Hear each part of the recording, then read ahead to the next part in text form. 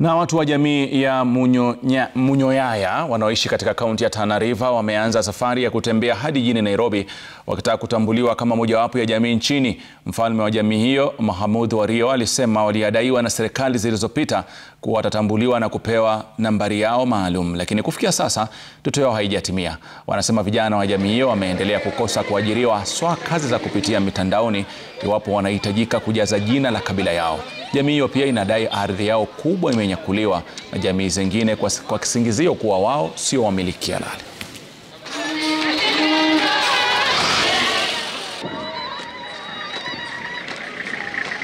Sisi tulikuwa na kodi yetu, kodi ikabadilishwa, tukapelekwa coast, tukaandikwa others. Mpaka saa hii hatuna kodi, na ile kudanganywa kwamba kodi mmepata, kumbe hatujapata kodi. Kwa hivyo sisi tunataka kodi yetu tupewe na tutambuliwe na tuandikwe kazi na scholarship tupatiwe. Hizo vitu yote tunadai.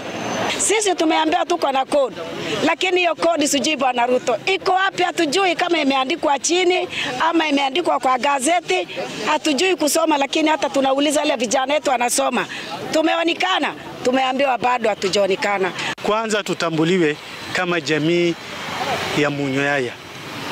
Saa hizi hata ukiandika application kwa online, ikifika mahali ya kabila inakuwa ni ngumu, so tunataka tuwe gazete si jina tu, tuwe gazete, tuishi. Tujulikane na serikali ya Kenya.